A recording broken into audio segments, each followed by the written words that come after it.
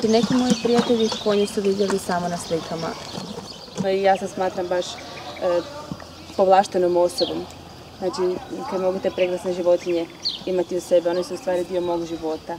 Znači, bez njih si ja ne mogu zamisliti život nikad. Volim se brinuti o njima, ti mariti, čekati, hraniti. Niti jedan dan ne prođe, a da ne dođem da ih ne vidim, da ne pričam s njima. Oni su mi ko prijatelji više, to nisu za mene životinje, to su prijatelji. U našem potkrećom kraju u posljednjih nekoliko godina sve više konja postoji i sve više se ljudi počeli baviti s tim rekreativnim jahanjem. Za to su najviše zaslužne naše dvije udruge, udruga Potkonjići konjari i udruga Hrvatski toplokrvnjak. Dok sam najnapetiji, dok sam naj, u najvećoj gužvi, pustim konje u koral i pola sata sjedim i samo gledam kako trče i pasu se. Znači, to me jednostavno upušta i daje mi nekakvu smirenost i poslije toga kao da napunim baterije i moram dalje. E, mi smo osnovali udrugu prije tri godine. E, ljubav prema konju, druženje, to je moto naše udruge. Vikendima mi e, jašimo i to nas na, na jedan način jako opušta. Znači naše rute idemo u pravilu svaki vikend, nedjeljama znači, i naše rute dosežu do 60 km u danu. Znači ima, normalna nekakva ruta nam je 30 do 40 km. Normalno, bez forsiranja, bez ičega. Znači, na jednom mjestu tu u kvartu, u jednom dijelu se okupimo, nas nekakvih 25-25 jahača. Idemo u jednoj, pravcu, jašimo do jedne točke, znači tu uglavnom ili nas si organiziramo znači nekakvi roštilj, pečenje, nekakvi pečenje odak ili nešto malo druženje, malo se konje odmore, malo se konji najedu i tako, napojimo konje i onda se vraćamo. Organiziraju se turniri, igre spretnosti, e, galopske trke, e, znači lov na stolnice. Konji su nekad imali sasvim nekakvu drugu namjenu, znači radilo se s njima u polju, u, u, goricama, u livadama, šume su se vozili, vozile drva, evo sad je došlo vrijeme da konji imaju sasvim jednu drugu namjenu. Znači strogo rekreativno jahanje, glavni cilj naše udruge je okupljanje što više konja.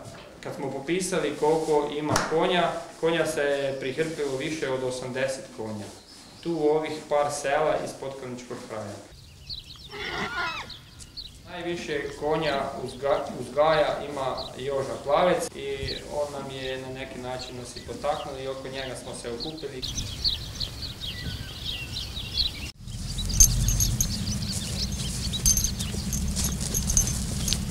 Tako imam 22 konja, komada, e, imam četiri lipicanerke, dvije hladnokrvne, a ovo su drugo toplokrvni.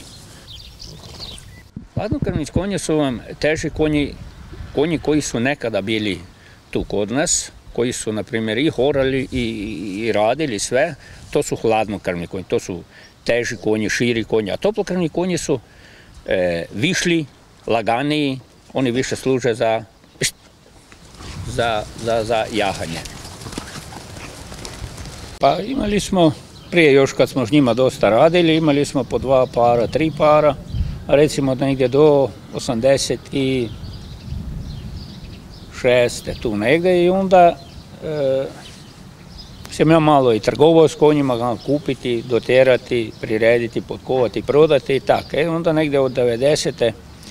imamo cirka negdje od 20 do 30 komada smo imali negdje do 2000 i Čak smo jednom, jednom trenutku imali 57 komada. Ne?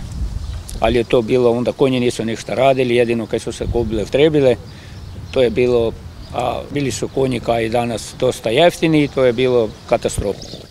U zadnje vrijeme malo mi se posrećilo, taj film nešto idemo i u Zagrebu četiri konja rade kao cijelu sezonu u Zagrebu kao povijesna postrojba Jašina. Ja i sin. negdje dve, dve, dve i pol ure ovoga, to traje taj program. To je interesantno za turiste, slikaju, ima Japanci, Kinezi.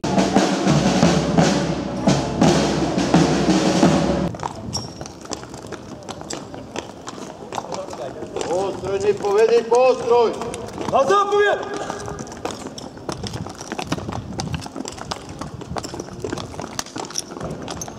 Postroj desnim krivom korakom!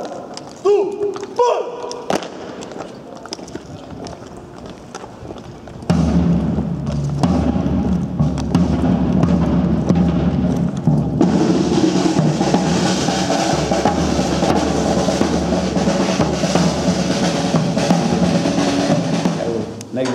160 nastupa, hvala Bogu još nikada nije bilo nikakvih incidentov. Idemo od Markovog trga, trg Bana Jelačića, pa pred katedralu i tam pod Kalčićeve i opet na trg Bana, tak dva puta. Pa ne, imaju ti Zagrebu menadžeri koji, na primjer, e, su me vidjeli u Zagrebu kad jašimo kao povijesne postrobe i onda su došli kod mene i tak me pitali je li ja imam takve konje koji, bi, koji se ne plaše ničega i tak. Moraju iti i u vodu i negdje treba sad kad smo u, snimali Vinetu, tam je bila rijeka i oni su morali tam gdje nije bila baš pregliboka, konji su morali po vode preći, tak moraju biti konji koji, koji se stvarno ne boje ničega. Prvi film koji smo snimali bio je Šegart Hlapić. Ja sam bil skrit u kolima, pokrit, a imao sam u rukama špage koje su bile crne, koje su bile za vojke gore, tako da sam ja znutra, samo sam vidio malo koliko su oči, toliko, toliko da sam ja konjima, jer glumci baš, oni ne znaju s konjima upravljati, a gore je bilo dosta, dosta je bilo nezgodno, jer gore je put na Plješevicu vijugav, a dole provalija po 50 metri unutra. E da konji krenu levo ili desno, ode i glumac, i hlapić, i, i kočijaši.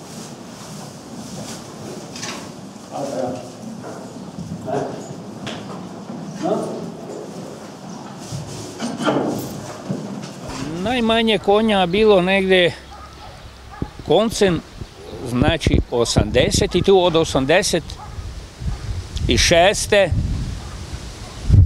do, do, do recimo 95. tu je najmanje. Onda polako su počeli ovo, mladi kupovati, znači kakve je 10-15 godina je konja jako malo bilo. E onda smo, nakon toga kad se počeli ovdje naši mladići kupovati konja, onda smo mi tu oslovali udrugu Hrvatskog toplokrvnog konja. A maškara već idemo četvrtu godinu, primjer kreće se tak ujutro i do večer ide se po selima, tak i negdje se stane, malo si ljudi založuju, malo popijaju.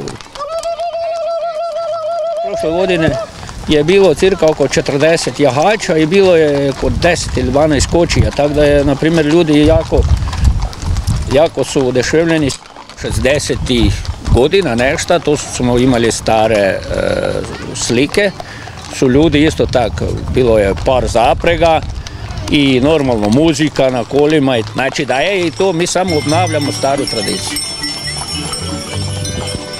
E, kad ja jašim, ja se osjećam e, nešto, mislim, posebno, jer to vam je kod da čovjek je negdje u, drugom svijetu, kod da si u zraku.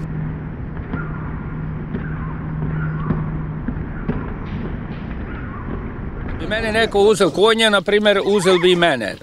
Ja mislim za dvije godine to me ne bi bilo. Neko voli konje, neko žene, ja jedno i drugo.